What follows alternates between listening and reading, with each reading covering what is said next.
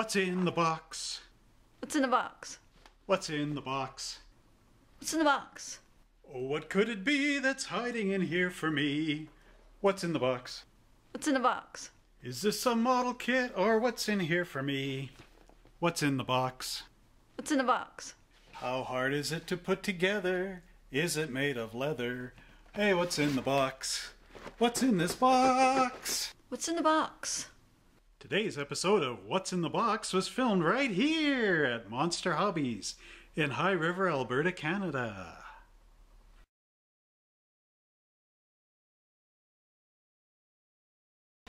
Hello, everybody. My name is Trevor Slescu, and I am the owner of Monster Hobbies in High River, Alberta, Canada. So, welcome to another edition of What's in the Box when we check out the Fyreslayer's Magmadroth from Games Workshop and this is playable in Age of Sigmar Warhammer. So, let's take a look at the back of that box. You can see the awesomeness of this model.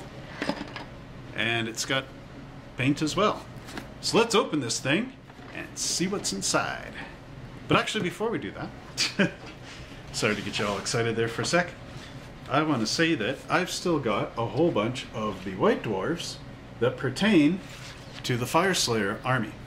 And this one in particular, sorry, sorry, this one in particular deals with the very model we're covering in this video, the Magmadroth. And this is issue 103 from the 16th of January 2016.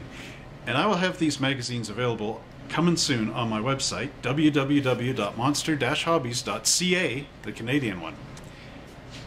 And this is a cool magazine because it's got all the magmadroths in there. You can build this in many different versions, and they give you a couple of heroes with this thing for your army. So you're basically getting two models in there. So one of the heroes is the Auric Runefather. And he looks like this. You can mount him separately or, I don't know if you can see that, on the Magmadroth. So that's pretty cool. That's option one. He's carrying a big axe. It looks like a key on the axe head. And there's an Auric Rune Mac, Rune Might, uh, Runes, Runesmiter on a Magmadroth. That's how he looks on the Magmadroth. And they also have him separate down here. So you can have them fighting alongside and an Auric Runeson on the Magmadroth is, I believe, the final model. So there he is on it. And here he is separate. So these old magazines, they are treasure troves of information, especially pertaining to the Magmadroth for this issue. So even though they're old, check them out because they're still worth it. For example, here is the paint splatter and it shows you different ways to paint using the Citadel paints for your Magmadroth. And it, it's actually a couple of pages on it too. They show you painting that, painting the Runefather, and even the smoke from the pipes that they're smoking, or whatever they're doing there. And then it gives you the War Scroll. So if you're in need of a War Scroll for this model, well, one comes in the box, but you actually get it in the magazine. There's the one for the Magmadroth. And the Runefathers. So they give you a lot of war scrolls in this issue. And then they show you some other things. I think this is was using the the spray colors on it. If I remember right. And yeah, so a good reason to check my shelves for a bunch of these and online, of course, at www.monster-hobbies.ca. Now let's go over to the bench and open up our Magmadroth box. Welcome to the bench. Here we have our Magmadroth. Now I put this on because I'm getting cold in here. okay, Magmadroth. What's in the box? Can I open this box? Urgh, you will find that the cardboard is thicker on this box making it a little tougher to open. Okay, there's our runes again. Now this is kind of nice. I like the Games Workshop bigger boxes. Hopefully I'm opening this the right direction. Because they give you this nice tray in here. And look at that. Color instructions. That's a plus. That's very much like uh, Mo- Monarch models used to give you colored instructions when they were still in business. Oh, no, it's still color. Okay. Check that out. Aur- Auric Runefather on Magmadroth with Auric Runeson and Auric Runesmiter. There they are. And then there's another option. Auric Runeson on Magmadroth with Auric Runefather and Auric Runesmiter. And the Auric Runesmiter on the Magmadroth with Auric Runefather or Auric Runeson. So, open it up and it shows you what tools you could use.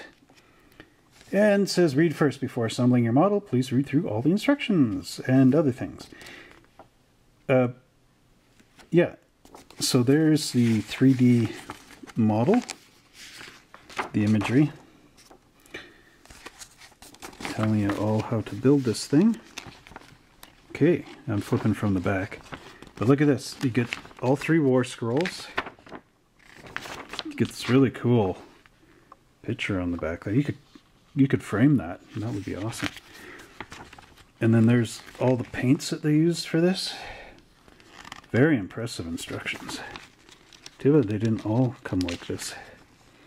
There's all the father, son, and the other runesmith. I like the black dragon at the bottom. Maybe I'll do mine that way. It's in your books. Oh, there's War Squirrel for the Runesmiter. And so I'll go backwards here. Magmadroth. Yeah, see, so you can glue these guys down separate on the bases. So it's pretty cool. It gives you a lot of bonuses with the super characters. Okay, enough of the instructions. Very nice. Looks like you get two big sprues in this kit. So let's just move that out of the way for a sec. Right off camera you go. Have a look at this. There we go. Look at all that detail in there on the dragon. That's his body. I don't know what part this is. I guess I'll find out when I glue it together. See if we can find it. Look, there's a rune stamped right into the dragon. Let's see if we can't find its head here.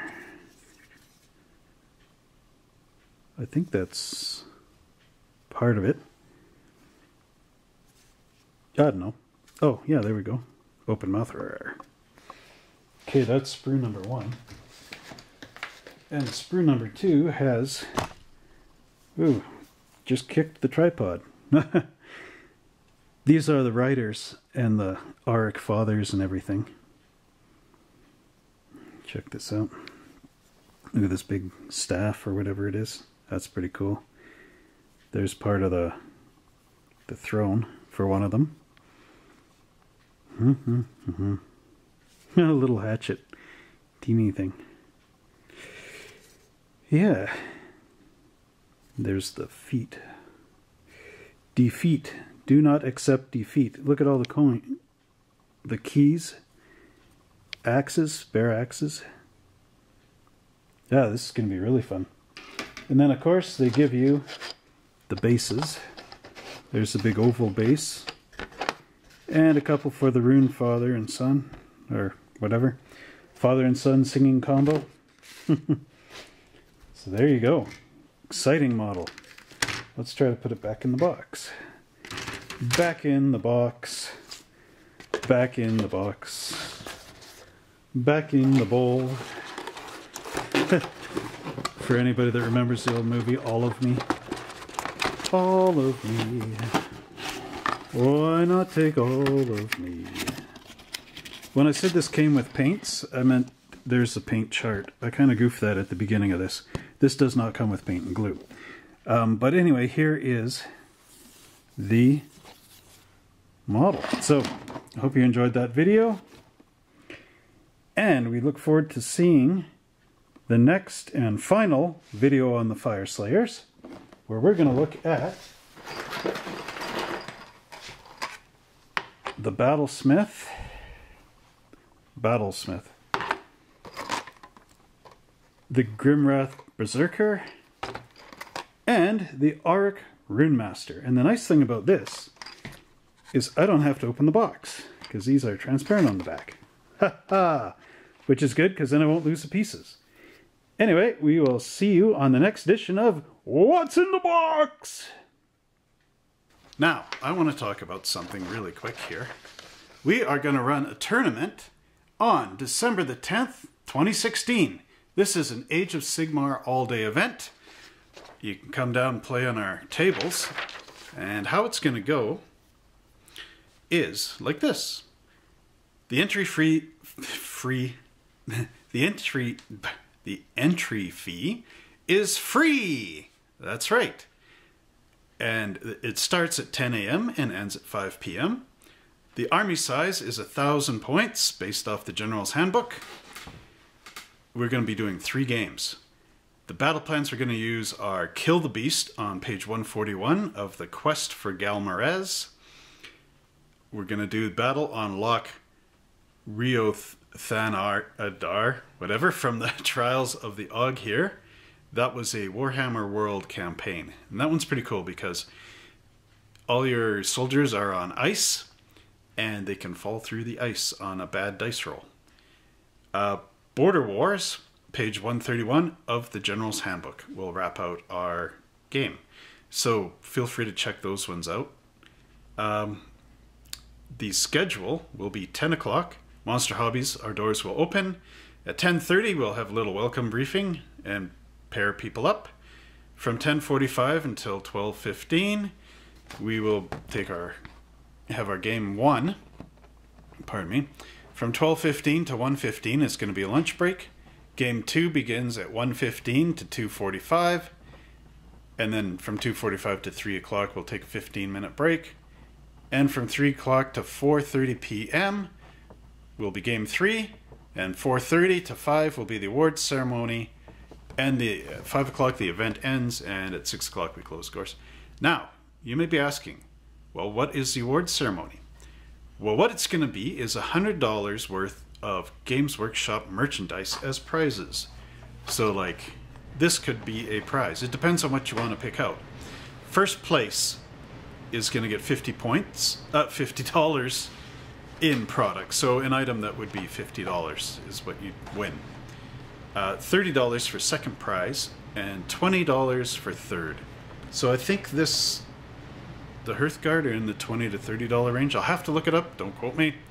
We use uh, the Games Workshop prices exactly, we match them. So, but you know, this would be like second place. If you wanted the Hearthguard, you can pick anything you like, right? As long as it fits into there.